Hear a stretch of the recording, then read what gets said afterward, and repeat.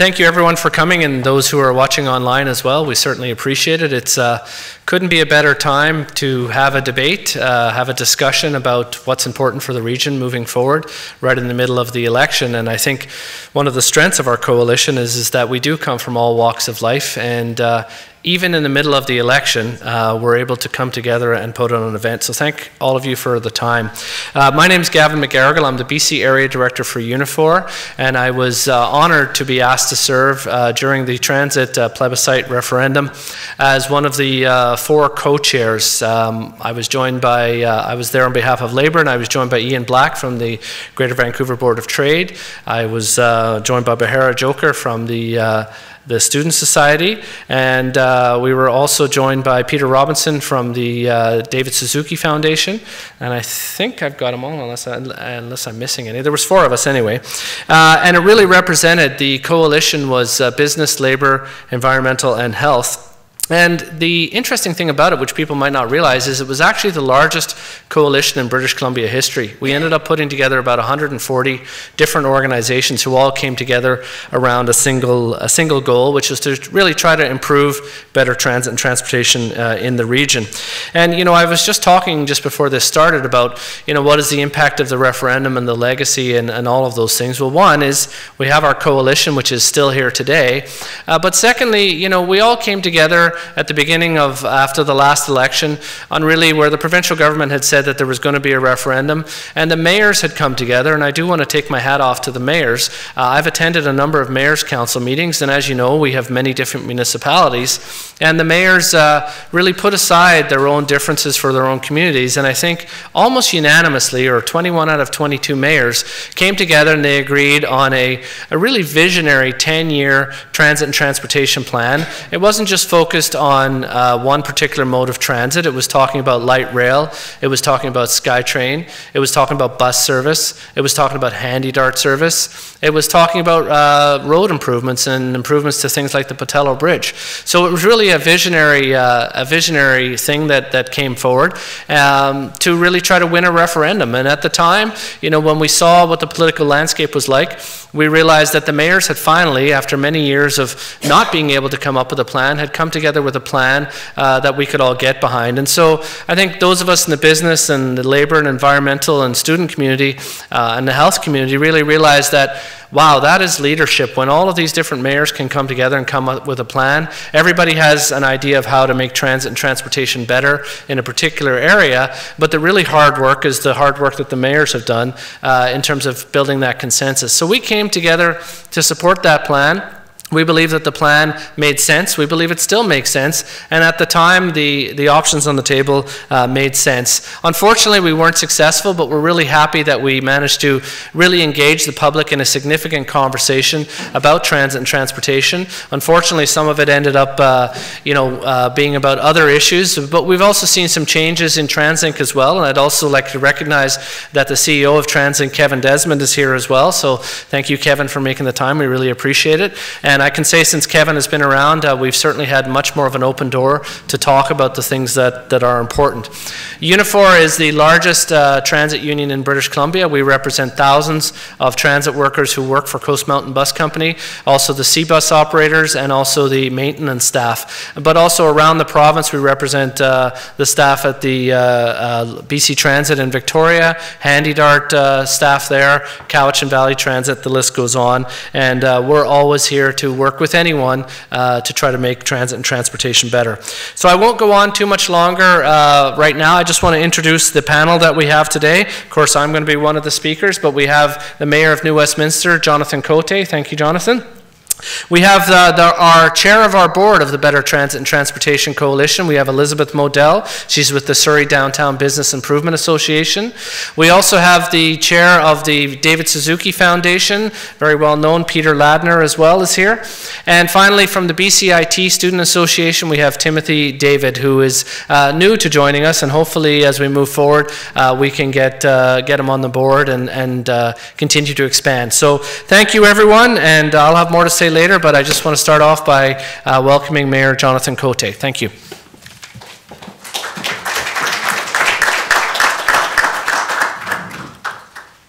Well, well, thank you, uh, Gavin, for the uh, the introduction, and, and, thanks everyone for, for coming out tonight. Uh, I'd also like to, to big, do a big thank you to uh, to the organizers uh, for putting this uh, event on. transportation is no doubt an important topic in Metro Vancouver, and it's an important talk in this discussion in this provincial election. So I think it's, it's, so important that that we have an opportunity to to be able to have these these types of discussions. the reality is the next provincial government is, uh, whether they like it or not, is going to have to deal with some pretty significant uh, transportation issues in, uh, in the Metro Vancouver region. So uh, that's why it's uh, critically important that we take this opportunity to, to really try and raise the, raise the dialogue. Transportation is, is no secret, probably to, to anyone in this room or anyone in the region, is a big issue in, in, in Metro Vancouver. Uh, polling over the last uh, 10 years has consistently put transportation as, as a number one issue facing Metro Vancouver, and it's only been recently in the last uh, couple of years uh, that it's actually been slightly passed by, uh, by housing issues in, in the region. And I, I often joke that uh, the only way we've been able to solve our transportation issues in the region is by just creating a bigger housing crisis. but the reality is uh, it, transportation remains and, and will remain to be a, a top issue uh, that we need to need to be working forward with. So I want to start uh, by, by talking, uh, uh, going back to 2014 and the development of, uh, of the mayor's 10-year plan. we've, you've probably heard a lot over the years about the 10-year plan, but the reality is I think for, for many folks the, the, specific details or what's included in the plan is, is, is not fully, fully understood. as Gavin mentioned in his opening uh, remarks, I think the creation of the 10-year plan uh, was actually an incredible accomplishment. And, and I can say that being someone who actually was not a mayor at the time when, uh, when the 10-year plan uh, was, was developed. Uh, to take uh, 22 uh, municipalities across the, the Metro Vancouver region and be able to take a divisive issue like transportation and come together with a, a cohesive plan that not only addresses very specific ridership and demand needs, but does it in a way that, that makes every municipality and the entire region feel part of that plan and willing to stand up to support the plan, I think is, is an incredible accomplishment. Now, in terms of the aspects of the plan, uh, you know, probably the most well-known aspects are, are, the Broadway subway line and, uh, and the light rail components uh, south of the Fraser River. And there's no doubts uh, those are, are very important components of, of the mayor's 10-year plan. Um, but I think sometimes uh, we do ourselves a, a, bit of a disservice by allowing those components to, uh, to, to, basically dominate the entire discussion because the, the mayor's 10-year plan is, is so much more than that. the mayor's 10-year plan includes significant uh, expansion and investment into, into bus service, into HandyDART service. Uh, it even looks at uh, the existing SkyTrain and investing and increasing the capacity there. Because the reality is we could build the Broadway subway line or light rail in, into Surrey and, and eventually into Langley. but if, if those cars don't have any buses or transit to deliver to the people to those lines, or those lines reach the existing Expo line or Millennium lines, and those lines don't have the capacity, ultimately we we, have not built, uh, been able to build a, a, successful, successful transportation plan that, uh, that actually works. So I, I, think we've, we've struggled with this on, on the Mayor's Council, um, but you know, I think just looking at the lines on the map, it's, it's very clear the, the transportation improvements included in the, in the Mayor's 10-year plan goes well beyond what I would call the, uh, the sexy big ticket, uh, big ticket items. Uh, and, and from our position, each and every one of those lines on the map is critically important uh, to, to transportation in the region. So implementing the 10-year plan has, has been a challenge. I, I think that's probably a, a, a huge understatement. Uh, uh, we, uh, we found ourselves uh, in 2015 after the unsuccessful uh, referendum campaign really stuck in a position of, of really not knowing what the, what the next steps are. Uh, the results obviously were not, were not positive in that, in, in, that referendum campaign. And the reality is, I would say for a year after the referendum campaign, we simply just pressed the, the pause button on, on the mayor's 10-year plan and transportation investments uh, that, uh, that were included on that. Um, but after that time, I think the mayors started to realize that no, this is something that, uh, that we all stood stood for together and something that had had value to continue to uh, uh, to fight for. Uh, I think another dynamic that has certainly allowed us to kind of pick up the pieces after after the referendum is a, a change in federal government. Uh, having a federal government that has a, a, significantly greater interest and enthusiasm towards uh, public transit across the country and in the Metro Vancouver region, I think was another major motivating factor for the mayors in the region to, to realize that yes, we can start to pick up the pieces and we can start to uh, start to start to build those partnerships again and and get ourselves moving. But I think we also came to an important recognition that there was not going to be a silver bullet. There wasn't going to be a, an easy yes in the referendum that was going to deliver the entire 10-year plan. Uh, we'd have to be finding uh, what I often called the, the slow, slow road to, to yes. And uh, the slow road to yes, uh, I think, uh, officially started in the fall of this year when uh, uh, the mayors uh, announced the, the first phase of the, of the mayor's 10-year plan. we were certainly very uh, very gracious and, and, and very uh, thankful that we were able to receive uh, just over $700 million in investment from both the federal and, and provincial government. Um, but the reality is that the majority of costs for, for the phase one transportation investments that are rolling out right now are actually being covered by, by local governments. Now, phase one does not include uh, the big sexy projects, Broadway subway line or light rail south of the Fraser River, but it does include what I would say is the, the important components that that, really make uh, transportation work. Uh, the big highlight is a 10% increase in bus service in, uh, in the Metro Vancouver region, uh, which includes uh, five new B lines all the way from dealing with Maple Ridge to, to south of the Fraser to, to Burnaby, Burnaby and Richmond. significant increases in capacity there. also seeing bus service into areas that are, are newly created in, in the Metro Vancouver region and seeing a growth in population, but which have absolutely no transit service. So to us, this was an important, uh, important first step uh, to, to start to move uh, the mayor's 10-year uh, plan. And we've already started, as of January, started rolling out uh, Uh, these important, uh, important uh, transportation, uh, transportation improvements. So uh, this is uh, the breakdown of, of how we look at the 10-year plan now. It's, uh, it's no longer one big complete plan, but it's actually been broken down into what I'd say is more manageable bite-sized pieces. Uh, uh, phase one is the, the phase that uh, I was just talking about, um, but the, the plan also outlines phase two and, and phase three. So I know there's a, a lot of information and you probably are not able to, to read that entire, entire chart, but I think it, it does provide a, a really good illustration breaking down what the next phases are. And uh, I think the phase that is most important to us next is, is, is phase two because we've already set the stage with phase one, but post this, uh, this provincial election, uh, we think it's critical to, to engage uh, uh almost immediately into, into phase two discussions. So phase two discussions, uh, top of mind uh, certainly is, is the Pattullo Bridge. the reality is this particular piece of infrastructure, we're not in a position where we're going to be able to, to wait any longer regarding getting the financial commitments and the decisions made to replace that bridge. phase two includes the Broadway subway line and also the, the Newton and Guildford components component of, of light rail. Um, but as I said before, uh, the mayor's plan includes a lot more than, uh, than just the, the big shiny projects. It, it, includes all the supporting infrastructure, whether that's additional SkyTrain capacity on the existing SkyTrain lines to existing uh, investments into bus service and, and, and the HandyDART uh, service.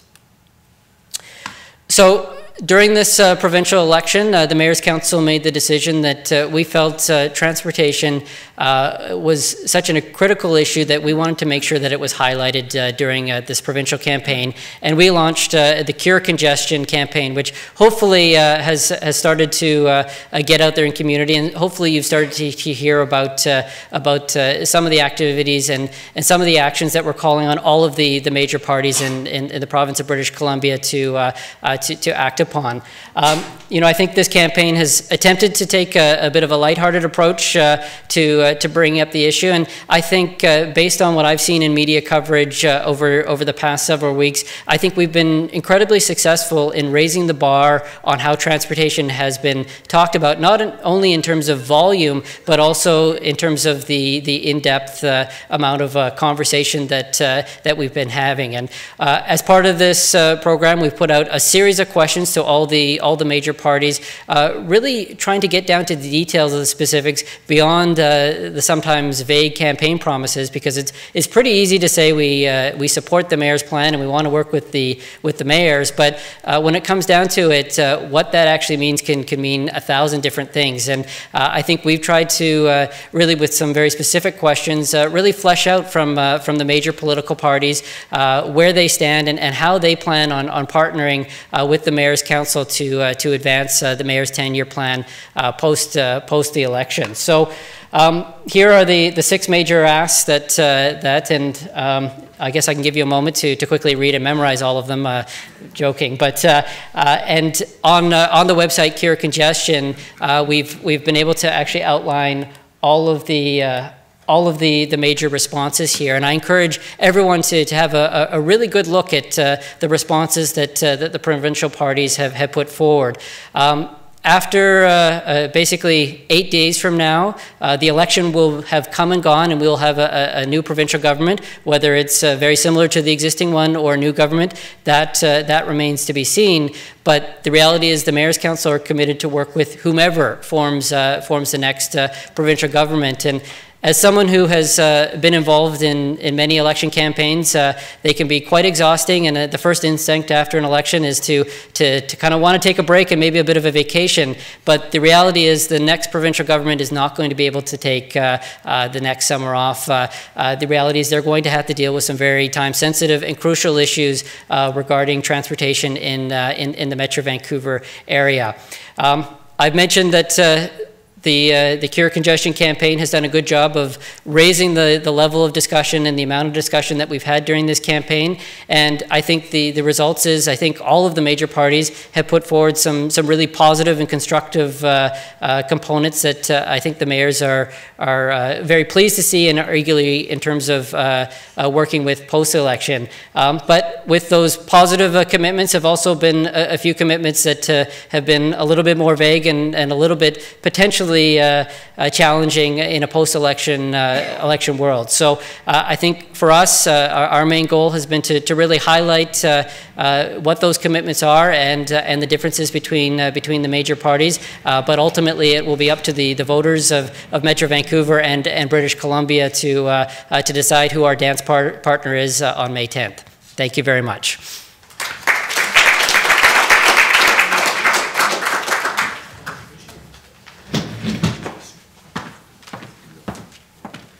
Thank you, Jonathan. I pulled the short straw as the moderator today, so uh, I'd like to introduce our next speaker, Elizabeth Model from the Downtown Surrey Business Improvement Association on the business perspective and what the voter needs to know about the next steps for the 10-year vision. Elizabeth?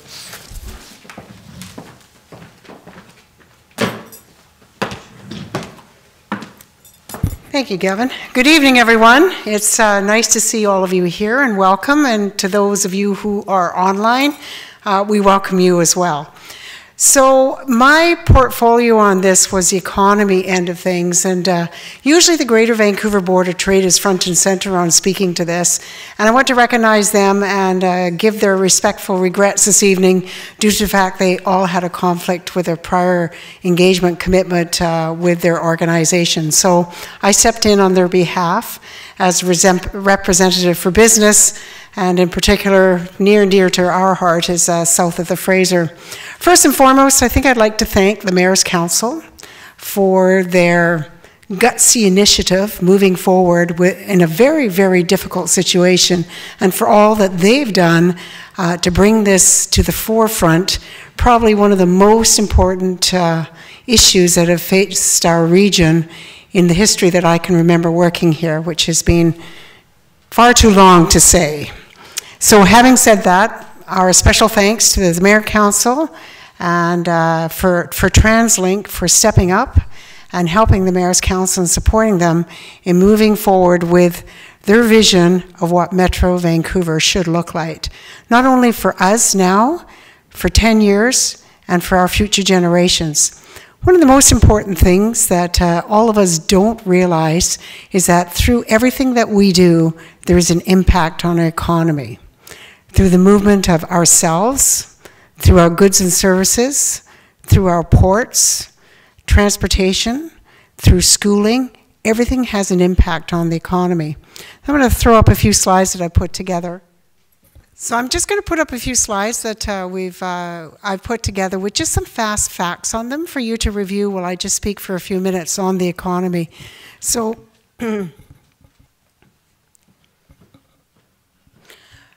So moving forward, I think Andy took a little my thunder here. It costs our economy in Metro Vancouver over $1 billion annually due to congestion and the problems with not, uh, not being able to move. Uh, we're one of the worst in Canada, and it's not going to get any better. So having said that, there are some key components that uh, we can encourage and, and ask you to do as advocates for better trans, uh, transit and transportation, and that is education. Educate yourselves, educate those people around you, educate your families, educate your friends, because with education and knowledge, becomes the power. Once you've got the power, then you understand what you can do as an individual to change people's minds. So that's why it's really important that you get out and vote, get to know what your parties stand for, get to know what your candidates stand for, and ensure they know what you think with regard to transit and transportation. So in moving our goods and services, for all of those things that impact that, the environment, um, there's an impact on, on our health. Um, with that, I'm not going to take any of David Suzuki's thunder away, but there's also a cost to that. It affects our economy, which is yours and my taxes. So everything impacts down to dollars and cents. One of the things that hasn't been touched on, and I should mention this to you as well, is the fact that tran the transportation plan and transit plan, the mayor's plan has put out, will actually stimulate the economy and put a great deal of monies back into the economy uh, and ensure jobs, construction jobs, and then furthermore, from that, it will also give us, whoops, give us the long-term um, jobs for uh, all those extra lines and bus services and um, the maintenance services and all the offshoots. But it's the small businesses that's, uh, that um, splinter off and, and, uh, and uproot themselves and go to those nodes of transportation moving forward where they create jobs and spaces and places for people to go, to feel part of the community, uh, to spend their dollars, and also to stimulate the economy further. So it's that multiplier effect that goes forward. And then from there, as we, as we move forward and, uh, and look at the economy from a, a very, very large picture, it will not only benefit now, it'll benefit our future generations, it'll benefit our health, it'll benefit our schools, and um, all those people that are impacted. So whatever you do, get out, get out, educate yourselves, and of course, with that, vote as well. Thank you very much.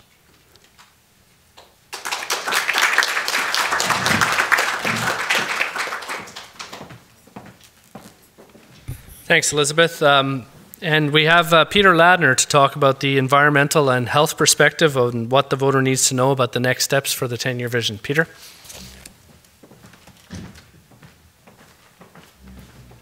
Thanks, Gavin. Can I um, take this down somehow? I don't want to. I don't know how to do that. I'm a Mac guy. Um, does anybody know how to? Okay. Well, thanks for inviting me. Um, better, thank to my board for inviting me to make this presentation. Um, I feel like we're sort of um, replaying the referendum in some way because I'm going to say a few things that were said and need to be said over and over again during the referendum. That's that's fine. That's good. Thank you. And uh, I, I want to actually challenge the Mayor's Council slogan of cure congestion.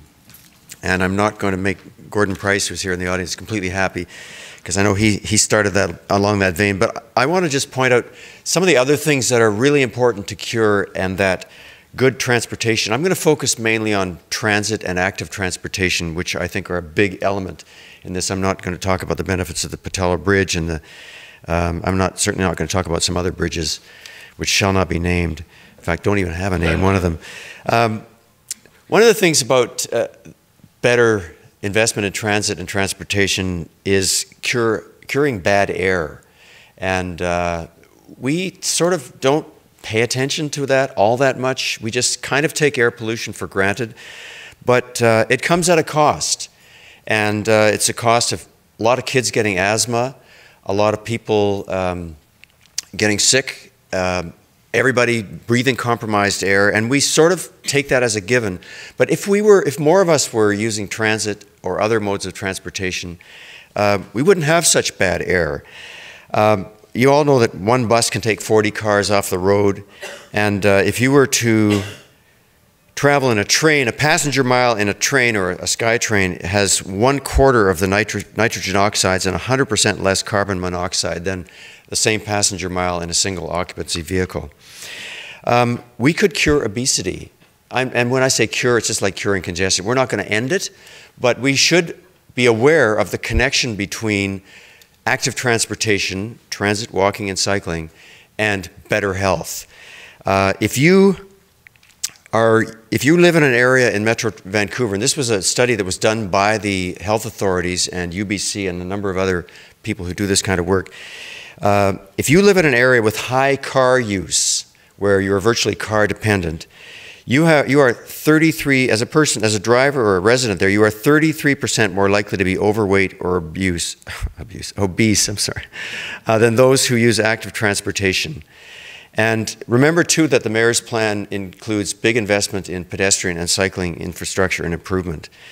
Um, when people use transit, they typically, well, they have to walk at both ends of the trip.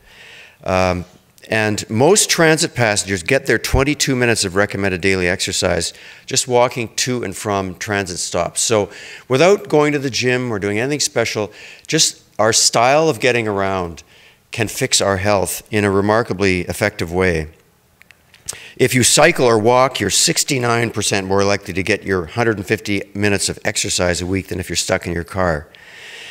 Um, safety is another issue that uh, we don't talk a lot about. Um, we think about seat belts and, and airbags in cars, but you think about parents who are driving their kids to school. When my kids were in elementary school, um, we let them go to school on the bus there's actually 20 times less chance of you getting into fatal accident if you're in a bus than if you're in a car.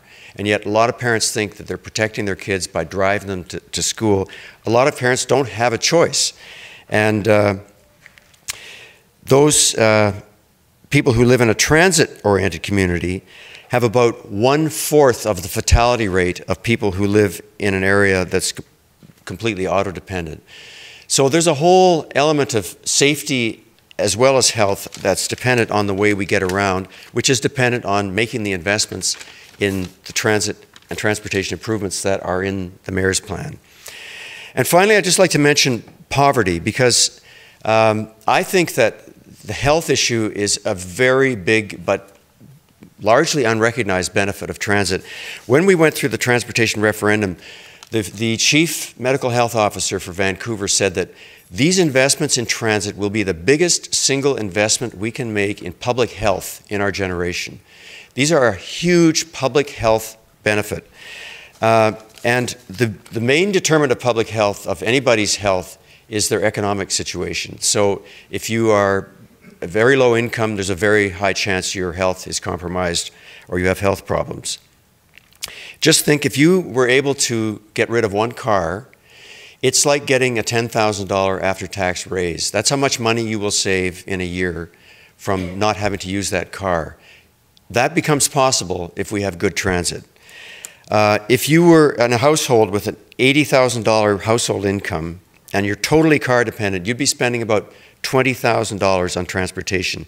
If there were transportation choices available and you could use other forms of transportation, that number would go from 20,000 dollars down to $7,200. So right away, transit can give you an economic boost and thereby help your health. The other thing to remember too is the social equity uh, piece. We forget that about 30% of our population is unable to drive a car. They're either too young, too old, too poor, they don't have a place to put it, uh, they don't have access to a car. They are compromised in how they get around, and without transit, they are stuck. They can usually get rides somehow or other, but if they want to get to a job that's beyond the reach of their they're compromised transit, that job is out of reach. The people who use transit the most are the people with lower incomes, and I know Andy's doing some work on, on uh, how refugees use transit and completely depend on it. And for people who want to improve their lot in life, improve their income, get a better job, get better off financially, which is definitely the calling card of every party in this election, um, they need transit. They need transportation choices. So I would say that the benefits of increasing transportation choices go way beyond curing congestion, which is a wonderful thing, but we should be bearing in mind in this election all these other benefits and asking the, the parties and your member of uh, your uh, person running in your riding and, and the people that you're thinking about voting for, are they aware of these benefits and are they going to deliver these benefits? And the ones who will do it the most are the ones who should get your vote. Thank you.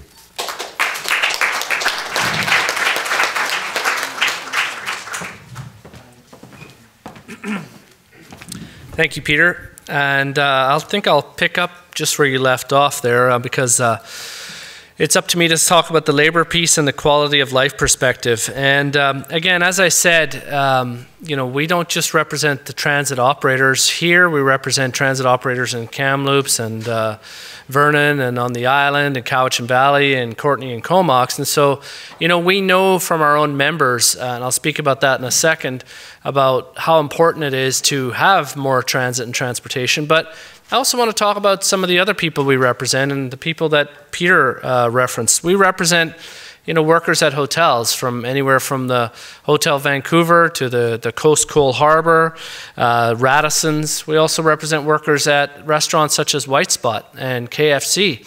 And we also represent workers right downtown here. I think we have about 600 members at the Edgewater Casino. And one thing about these places, uh, you know, we all work, a lot of us during the day, and we go out for lunch, but we often go out for dinner as well and into the late night. And it's those workers, those people that are caught on shifts. We represent workers in manufacturing facilities, etc., as well, and a lot of them are 24 7.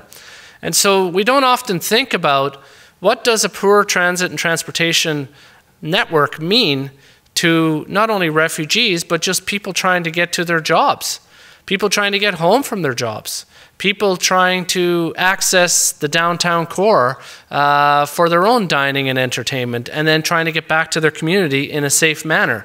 Ultimately, transit and transportation affects everyone. And unfortunately, what we see, uh, I challenge anyone go and ask any Metro Vancouver transit operator, or in fact, any transit operator across Canada, and ask them what they're dealing with every day. And I can tell you what they're dealing with here in Vancouver.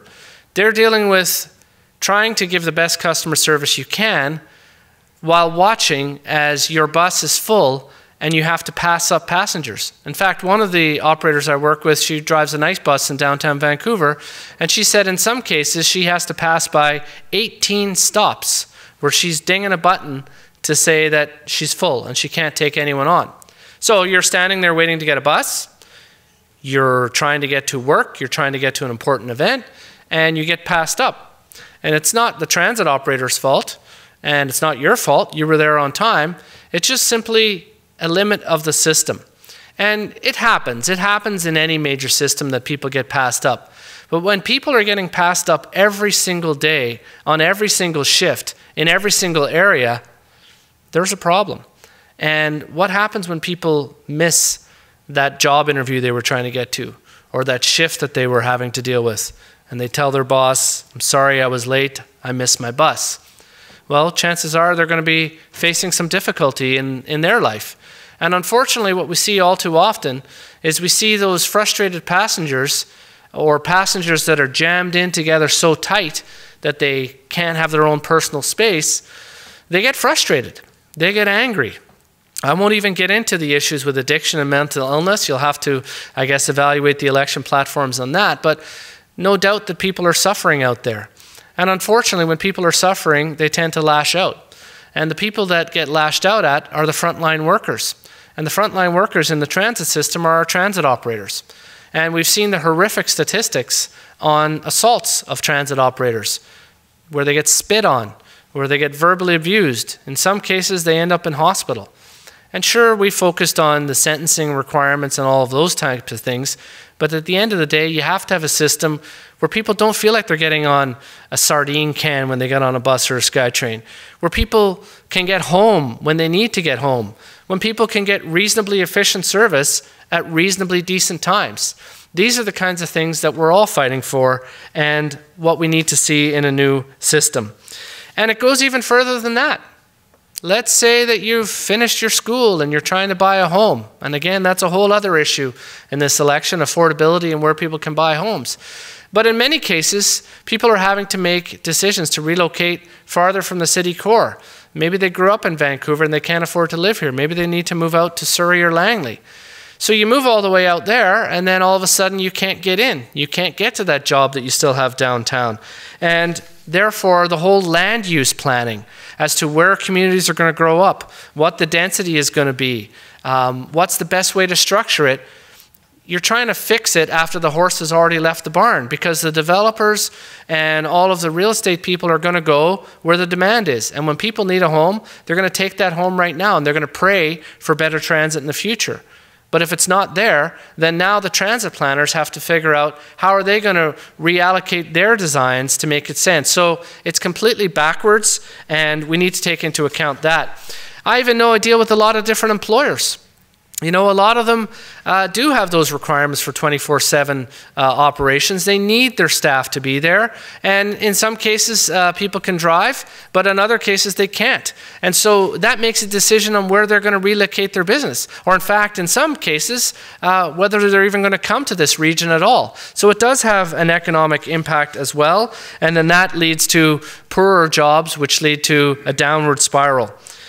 We also represent thousands of drivers. We represent container truckers. Some of you might remember a little dispute we had in 2014.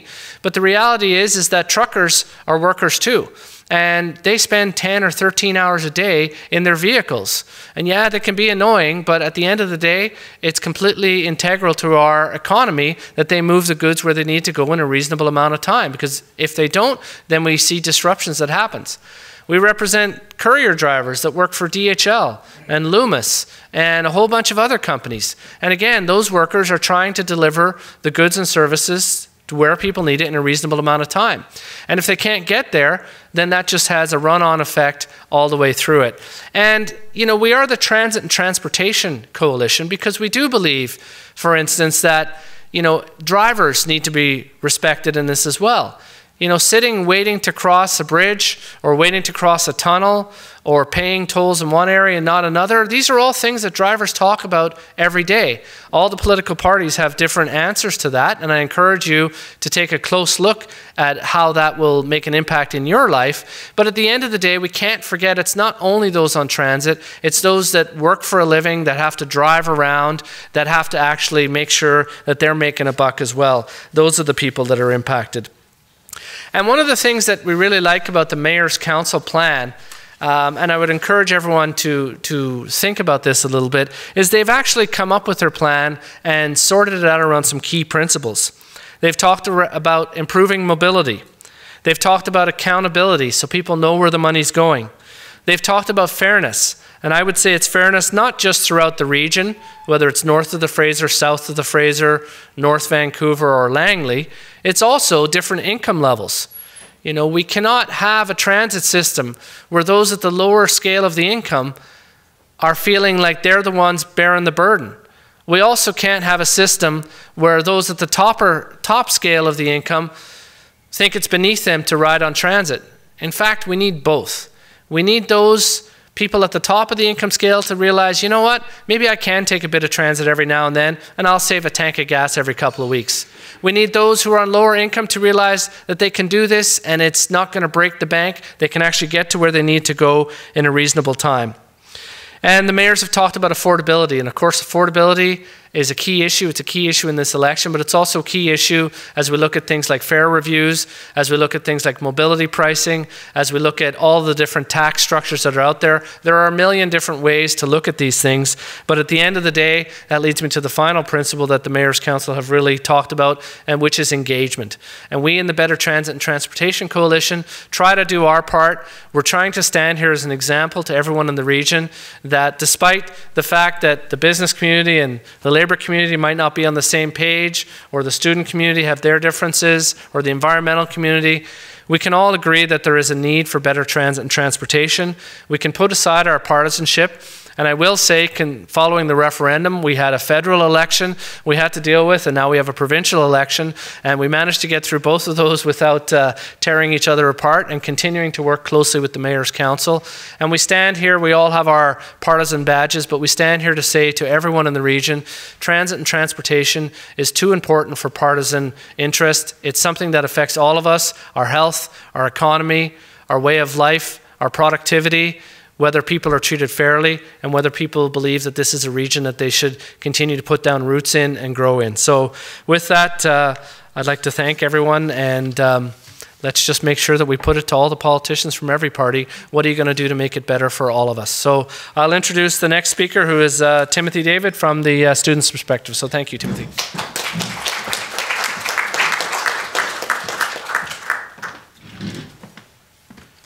Thank you, Gavin. Hello, everyone. My name is Timothy David. I am the Vice President External for the BCIT Student, Associ uh, Student Association, and I am actually also the representative for the Student Caucus. Now, today I'm here to explain to you just the why, the how, and the what. Now, this theory was made popular by one of my favorite authors. He goes by the name of Simon Sinek. He wrote a book called Start with Why. And for students, my job for right now is to explain to you out there why it's important for you to vote. So let's start with the why. Students, we have such a heavy burden. And that burden is that we are the future. You know, a lot of people now, the demographic shows it. There are facts out there that are saying that we are going to be the ones to take over in the workforce. And that's just the reality. With such a heavy burden and such a heavy responsibility, we need to know and we need to be able to access proper education.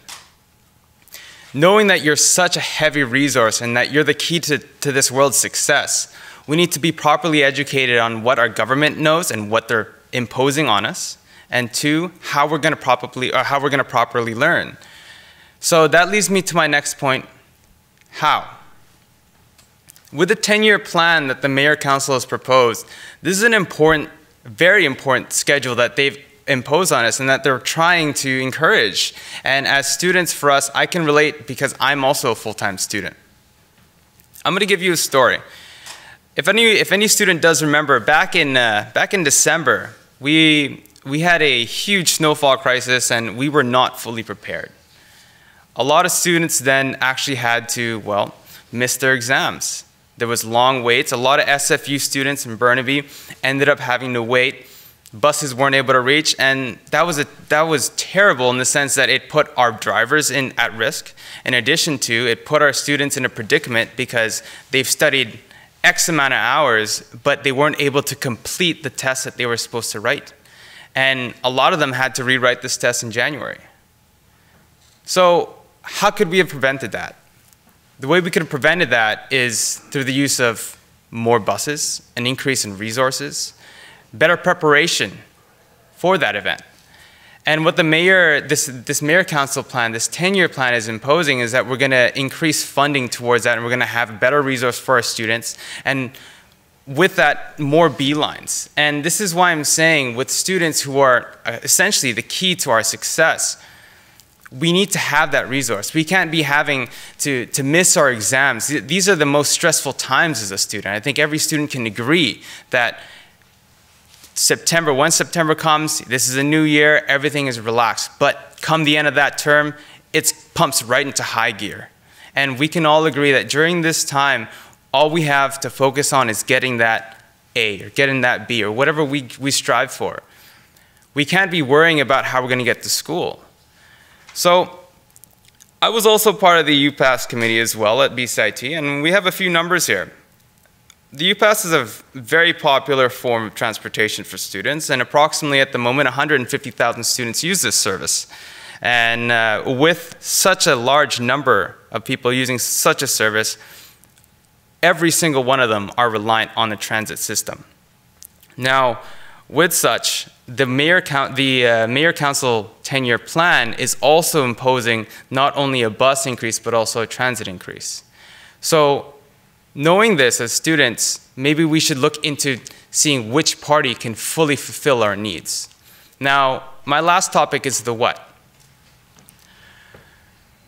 Well, we all have busy schedules. I myself just wrote a test.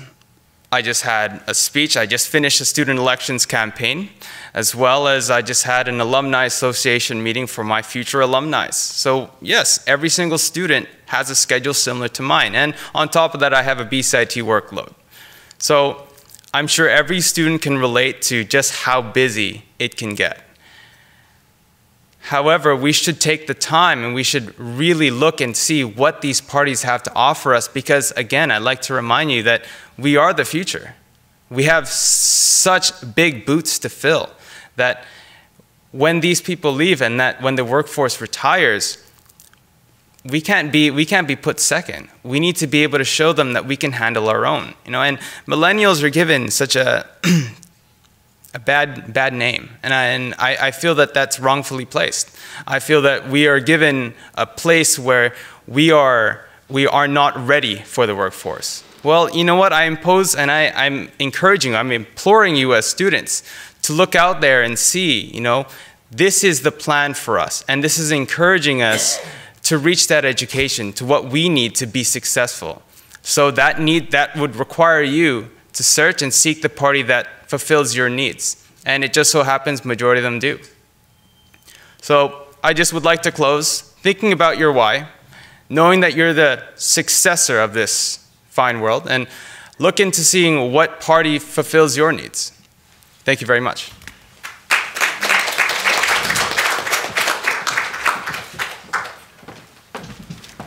Okay, thanks, Tim. So uh, that actually concludes our panel remarks, but we're willing to open up the floor to anyone have any questions about the top uh, three things that people need to tell their politicians when addressing lower mainland transit and transportation needs. And I'll start off and I'll say more buses, more buses, more buses. So does anyone have any comments that they want to make at all? Yeah, go ahead. Apasadani, father of Sablefish, father of all women, Raven tribe, and had I arrived a bit late, perhaps the territory was already acknowledged, but uh, anyway, I'd like to uh, touch on that. I'm going to name a bridge, Peter. Um, and uh, I'm wondering what the, uh, I attend meetings of uh, the main board of Metro Vancouver regularly, and I know that there's one there that has an interest in a particular bridge. And uh, so I'm wondering, I sometimes refer to Lois Jackson's and uh, Robin Silvester's pet project, so we can uh, handle more uh, dirty American thermal coal. So what is the attitude, it is trans transit and transportation, what is the attitude uh, of the mayor's council toward the proposal for that particular bridge? Thank you. Who wants to take that one? Peter, John? Probably. Probably you. I, I think that question might be directed to, to myself. Well, I, I think the, with the exception of, of one mayor, uh, I think the vast majority of mayors around the Metro Vancouver table have expressed uh, through a variety of different means uh, some frustration and concern about uh, about the Massey Massey Bridge construction. Uh, you know, really, we're talking about a bridge that will likely cost uh, you know uh, well over 3.5 billion dollars. And if you kind of compare that to the scale of the entire mayor's plan, which talks about transportation improvements that touches every single municipality in, in Metro Vancouver, and that one bridge could you know, pretty much equate to, to almost half of the entire mayor's plan, I think that really puts it into, into, into perspective. Uh, putting on my mayor of, of, of, New Westminster hat, I also look at uh, the Pattullo Bridge, which uh, you know has gotten to the point where it has reached the end of its uh, life expectancy, and within the next seven uh, seven or so years, uh, will no longer be able to, to function as an existing bridge. And it's frustrating from a point of my point of view is a bridge that we've known for a long time has reached the, the end of its life cycle uh, to watch a, a, you know another project uh, that might be shinier, bigger, whatever the case may be, somehow jump the queue ahead of some long-standing transportation uh, uh priorities that the mayors have set, whether we're talking about Pattullo Bridge or other uh, transit or road improvements that uh, that we've been calling for in the region. I could just throw one more comment in Go there. Ahead, Peter. Um, now that the Premier has said that uh, she's going to ban thermal coal, I'm expecting she'll cancel that bridge because there won't be a need for it anymore. okay, thank you, Peter. Uh, go ahead over there. Hi, uh, my name is Iqbal Ahmed. I'm with the Greater Vancouver Board of Trade. I'm the manager public policy there. And um, one thing that our research at the Board of Trade has found is that uh, issues of housing affordability, our uh, low portion of demographic between the ages of 25 and 36, and uh, lack of uh, transit are all things inextricably linked. These are all issues that kind of compound on, on one another. Um, and in the conversation on uh, the mayor's plan and transit, uh, we've, we've touched on a little bit here is how does housing affordability really play into it? How does maybe the broader issues of city planning and public transit work together to make a more affordable city? Okay. Anyone want to take that? Elizabeth, maybe, or? I'll speak on behalf. I'm going to put on my downtown Surrey BIA hat and uh, just echo uh, Mayor Cote's comment on the Pattullo Bridge. Uh, that's vital to the economic industry in Surrey, and, and it's just disgraceful as that bridge. And uh, honestly, I, I personally think it's been disgraceful the way it's been handled, too. However, having said that, um, South of the Fraser is very affordable for families. A third of our population is under the age of 19. Uh, we're one of the fastest growing cities in Canada with 800 to 1,000 new residents a month. Um, that offers its huge challenges. And there's many parts of Surrey that aren't serviced by transit or transportation in any way means. And it's really hard for young families who have to get from point A to point B, and particularly if they're a two-income family with, with young children, um, and there are no transit or transportation options available. And then again, speaking uh, with regard to the refugees and uh, their reliance on, uh, on transit, um, a lot of them were um, allocated to Surrey, and moving those refugees around has, has, been, has been challenging because the housing wasn't available uh, when they came in. So, you know, it just goes hand in hand um, from a standpoint of developing a city, developing a region, developing infrastructure, and um, ba the balance of affordability in there. There, there's larger questions at hand and, and um, larger planning at hand. So it, it must go hand in hand as the development of the region. And I think that's probably why the mayor's plan makes so much sense. Their vision um, is to ensure that um, uh, it all marries together. Okay, thank you. Um, over here. Is. I assume so. To um, paraphrase um, something that was said at the uh, White House Correspondents' Dinner the other evening, I'd like to address the elephant that's not in the room. That is our current provincial government. And uh, challenge that government, who's been our government for the better part of the past decade or so, um, to answer the following How come is it that every time the mayors and TransLink have come forward with proposals for new tools to leverage financing from senior levels of government, our provincial government has seen fit to close those doors over and over, uh, whether it's tolling or whether it's insisting on referendums that are bound to fail and so on and so forth. And it really, to me, it just strikes me as being, you know, maybe I'm just, you know, incredibly cynical about it, but it's almost as if it's bound to fail um, unless you have a partner in Victoria who's willing to give local governments and agencies such as BC Transit the tools that it needs so obviously to raise the gap in financing that isn't covered by both the federal and the provincial governments. And so I don't know if who, who's out there listening to this or watching this this evening from the provincial government. I suspect not too many. Um, but I hope that the message does go back out to them that that extra piece that's missing in the funding formula is absolutely critical. And for the provincial government, whoever that might be after the 9th of May, to turn around and say to the local mayors and BC Transit, no, you can't use that tool, no, we won't allow you to do that, or perhaps even more cynically, we'll insist on you going back to another referendum if that's what you want.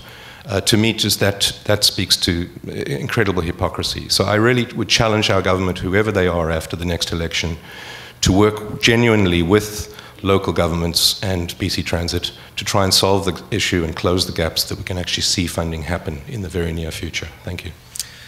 Okay.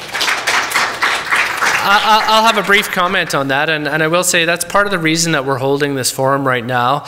I mean, obviously, we come at this from different partisan interests, but at the end of the day, the one thing that everyone in the Better Transit and Transportation Coalition can agree on is that we support the mayor's vision for precisely the reasons you outlined. It is, it is a pan regional vision over a long period of time, multimodal transportation. And so we come together, hopefully, as an example to all the political parties to say that, you know, at the end of the day, you've got business, labor, students, environmental, and, and many, many other organizations throughout British Columbia that really support this plan. And uh, I think overall, the, the coalition as a whole is fairly agnostic on how it gets done. We just want it to get done and get done yesterday, and it's ultimately up to the voters of British Columbia to decide uh, which party has the best plan for that. So I don't know if anyone else wants to comment. Peter? Uh, just a quick comment. Uh, there is one other thing we all agree on. There should never be another referendum.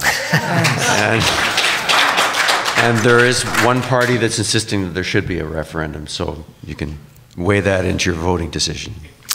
Okay, any other comments or questions? Yeah, over there.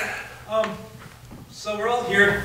Well, some of us are here today, but we're also in downtown Vancouver, in a city that voted overwhelmingly for the referendum and for the mayor's plan. One of the only, or one of the only very small few, a handful of cities that did. What are you doing in the regions? What are the other 21 mayors and municipal leaders doing to ensure that the next, that there is region-wide support for this mayor's plan. And, you know, it's great that you're here, but, you know, have you done this in Surrey and, and Anmore and West Van and Coquitlam and Langley and Delta and White Rock? Like, and get those mayors on board because I'm not the mayors on board, but the cities and their voters on board. Because here you're basically preaching to the converted, and that's not going to change the results of this election, and it's not going to change the results of another referendum unless we get out and figure out what we did wrong last time around and change our tactics because they haven't worked. Yeah. Well, I, uh, again, part of why we're doing this is to get the awareness out. Part of why we're webcasting it is to hopefully reach into those regions. But I know, and maybe I'll defer to Jonathan, because the Mayor's Council, uh, ultimately, they have a lot more dollars than, uh, than we do as the coalition. We, we do our best and we do not bad. But um, Jonathan, is there anything you want to add? Yeah. So, you know, I, I, obviously there's only so many uh, so many hours in a day and days in a week to, to be able to uh, to go to, to every municipality to, to make presentations. Uh, but I would say the mayors have come together with their Cure Congestion campaign, which has tried a few different ways, particularly on social media and cost-effective ways to, to really kind of spread the message across uh, every municipality and start to, to raise the, the level of discussion on the mayor's 10-year plan and, and educate that through this uh, this provincial election.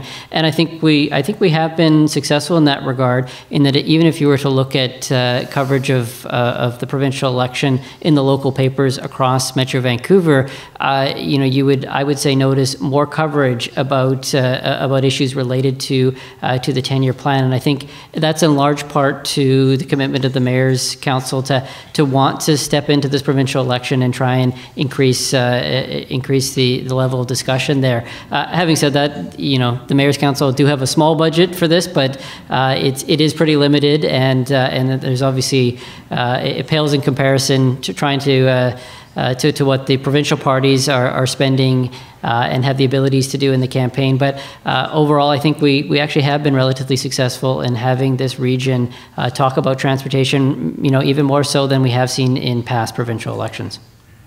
Okay, I'm going to go to could, could I just TransLink. Kevin, go ahead, Kevin. I, I just wanted to help answer the, the question. Sure. With the mayor. Um, staff from TransLink and the executive director of the Mayor's Council have been out to, I think, a handful of the cities over the last two weeks. I was at the city of Vancouver actually this morning presenting on the plan a a longer version of what Mayor Cote uh, did tonight, but it's both sort of the nonpartisan um, TransLink staff presenting the pla- plan and the uh, executive director of Mayor's Council talking a little bit more about sort of the position of the parties and so forth. So we're trying to get out. We're going to keep doing that after the election as well. I'd just like to thank Kevin Desmond for that because I think we are a little polyglot, unfunded, ramshackle coalition barely holding itself together, to be honest. And uh, in spite of the good efforts of our friends in the front row here. And uh, the Mayor's Council doesn't, they have a lot of other things that they do, the Mayor's Council. But I think uh, TransLink, bravo, step up, do it because you have the resources. And I think that uh, I don't think TransLink should shy away from this for fear of because TransLink had a bad reputation, they don't want to get out in front of it and get smeared and, and you know drag everything down. I, I think that Kevin has been turning TransLink around, and that we are depending on you and those efforts to, to do the work that Yuri quite rightly says needs to be done. And actually, I just heard a news report today that there was 5.6% more uh, boardings for, for ridership, so ridership's going up too. I had one back there. You had a question? Yes, since this is a uh, uh, voter's guide we're talking about, uh, are there any representatives uh, or anybody who dares to admit that they're representatives of the provincial parties here this evening? And were any invited?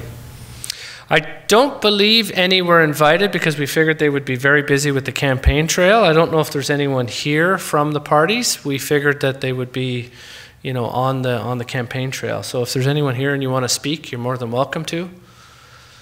No, I think our, our thought was, again, that the point we wanted to push forward is, is that this crosses party lines. The positions are clear, they're out there. The Mayor's Council has published uh, a voter's guide to, to the uh, to the issues that are out there. Uh, I know the different components of our coalition have also taken pretty strong positions in different ways.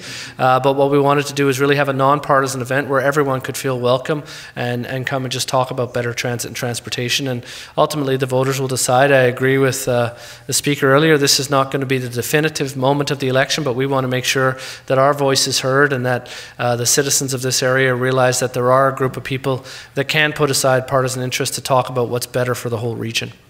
Um, anyone else that hasn't spoken yet? I want to make sure. Okay, go ahead. I'm going to ask a question about uh, HandyDART, and uh, just before I do, I want to help uh, TransLink understand why uh, transit numbers are up and uh, West Coast numbers are down. Uh, transit numbers are up partly because of the Evergreen extension, and West Coast numbers are down partly because of the Evergreen extension. The uh, Evergreen extension connects with the West Coast Express at two locations, so that, I may be wrong, but I thought it was fairly obvious.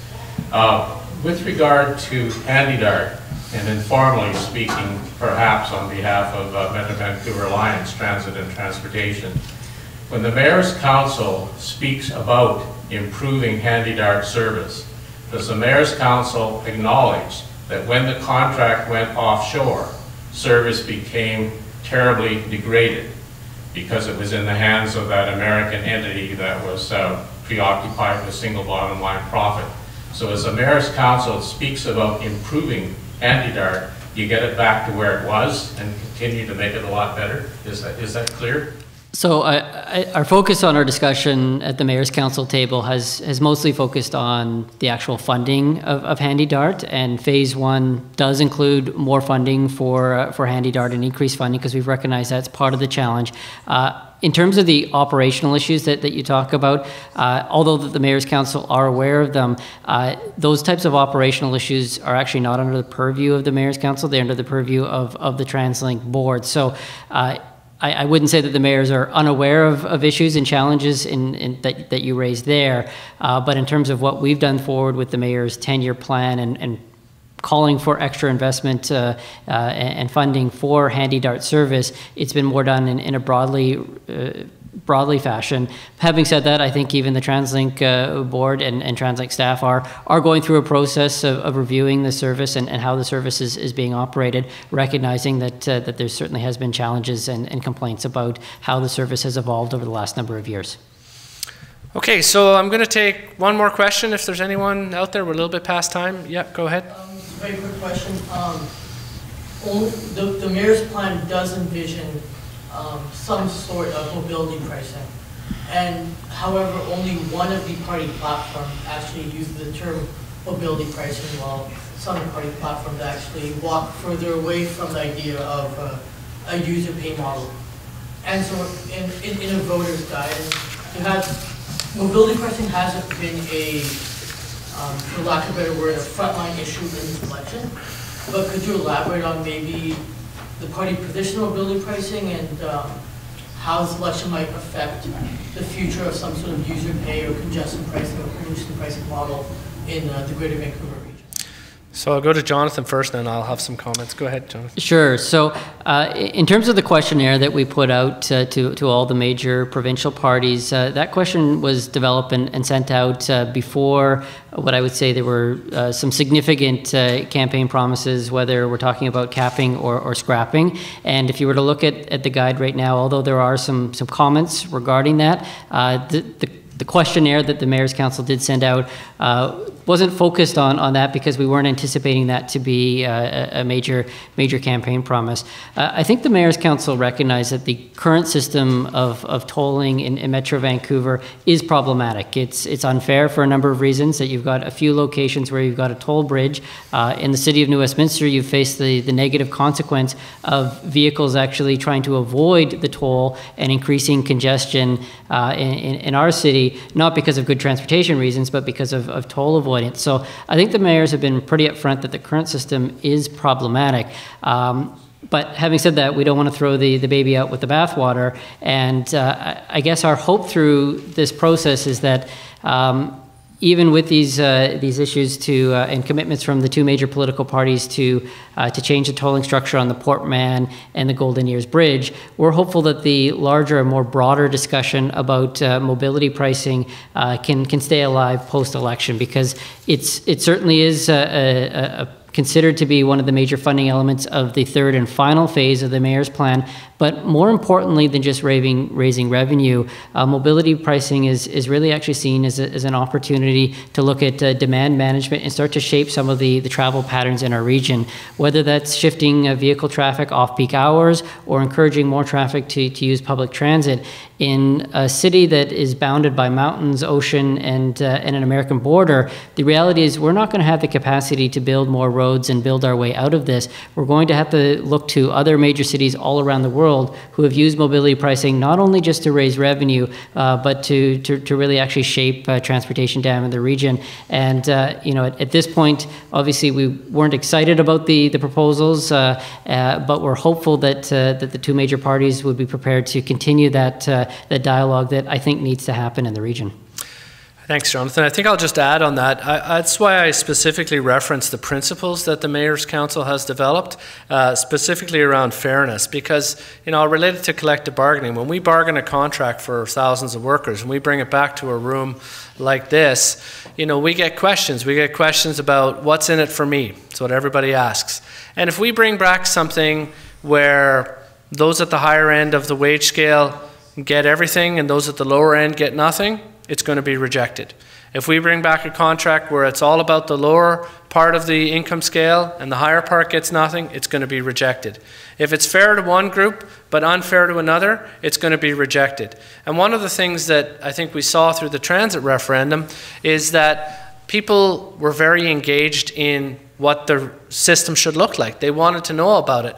But unfortunately, the debate got wrapped into issues around governance. Some of the parties have taken a position on governance, some of them haven't.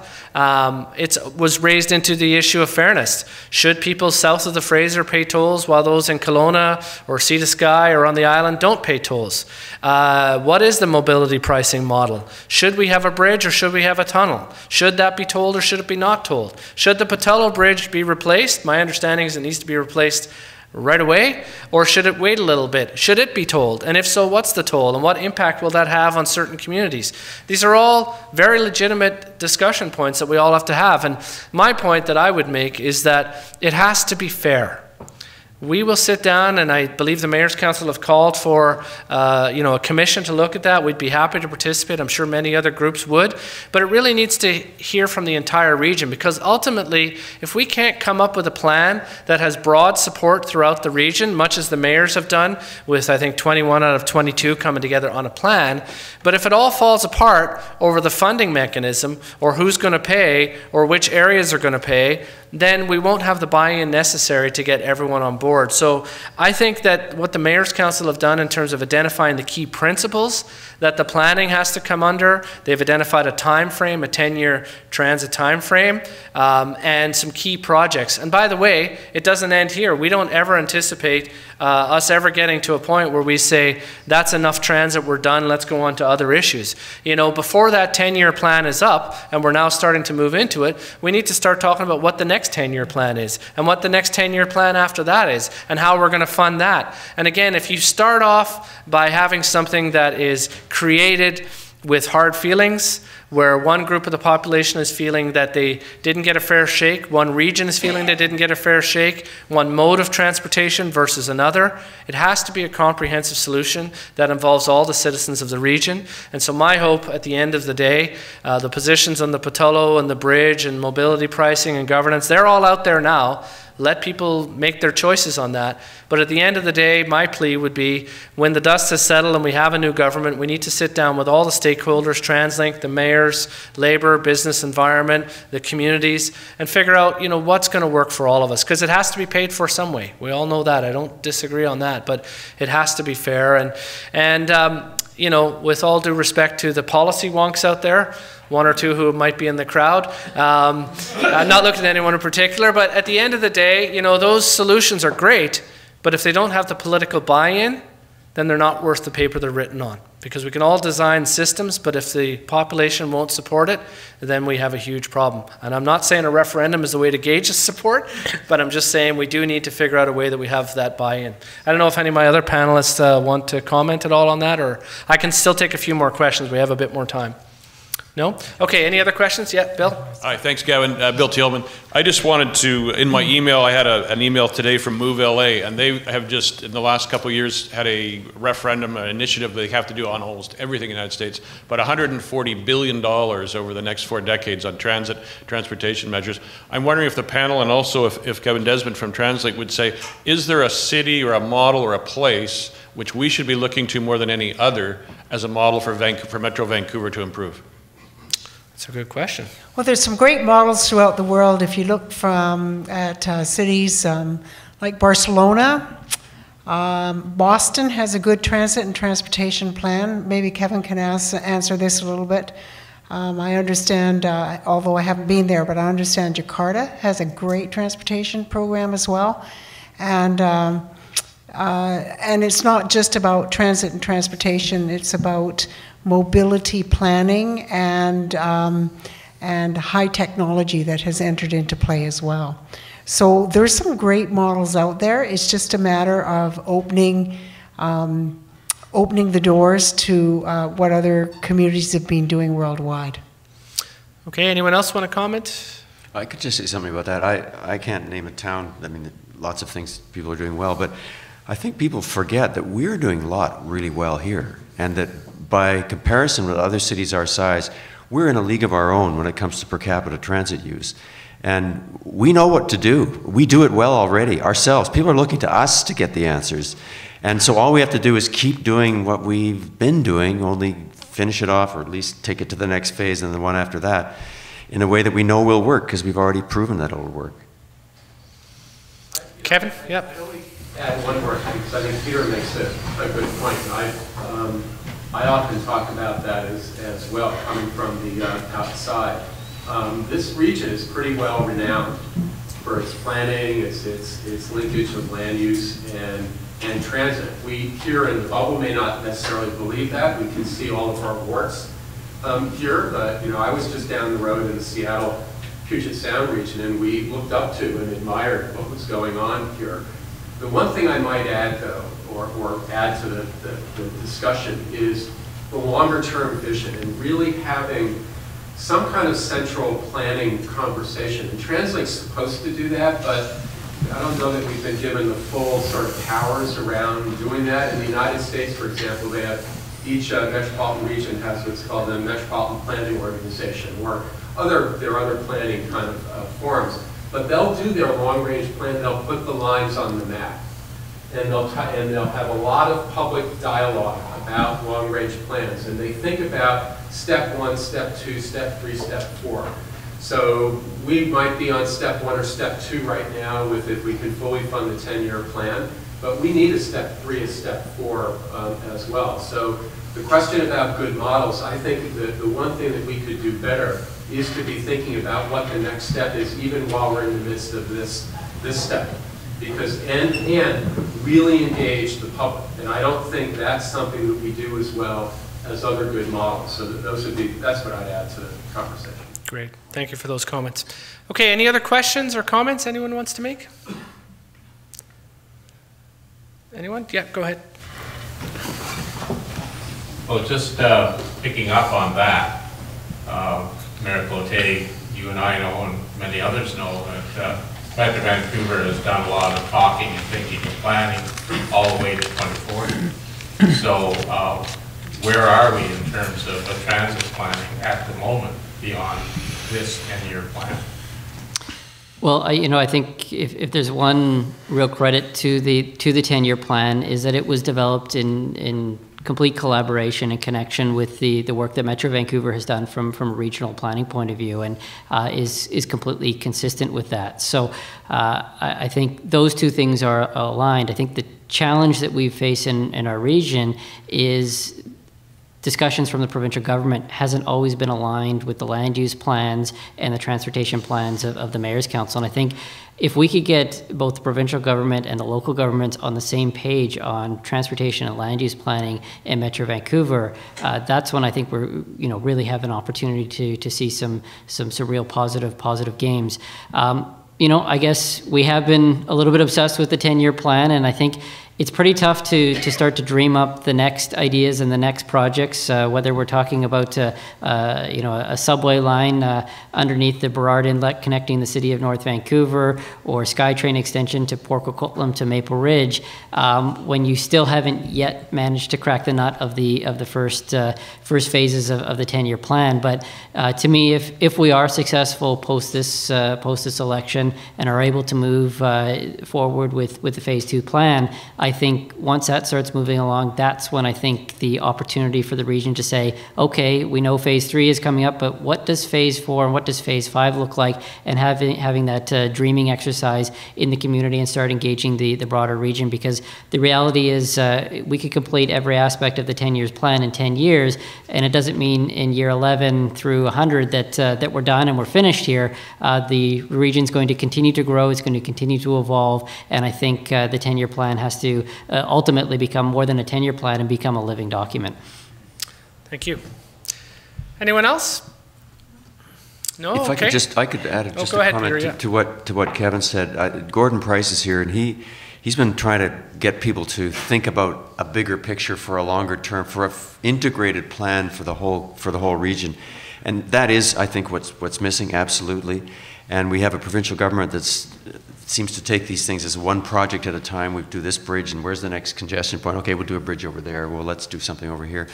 And uh, in fairness to them, though, I think uh, at one of Gordon's sessions, it came home to me that the region has to also, if, if, we want to get the provincial government in, we have to be listening to them and the federal government about the needs for the, the national flow of goods and cargo through our region and the, the, uh, the need to be able to export things and goods and resources through Vancouver. And be willing to listen and build all that in and hopefully get some communication going. So, because we're never going to get to a plan if we can't collaborate both with the citizens on the ground, but also the, the bigger forces outside our immediate neighborhoods that also have to be factored in. Okay. Well, listen, I think we'll end it there. I want to thank everyone for coming. I want to thank those online who took the time to hopefully sit through or maybe save it and replay it later on. And uh, it's a hot provincial election out there, a fairly cool room in here, so that's, that's good to see. And um, I just want to thank everyone and, and all of our panelists as well. Give them a round of applause for their comments. And I can say that uh, the Better Transit and Transportation Coalition has no plans to go anywhere. We, we are functioning a bit better than what Peter said. We, we do uh, have support and, and funding, and uh, we'll continue to be active post-election and continue to push for better transit and transportation in, in our community. So thank you again, everyone, for coming. We really appreciate it.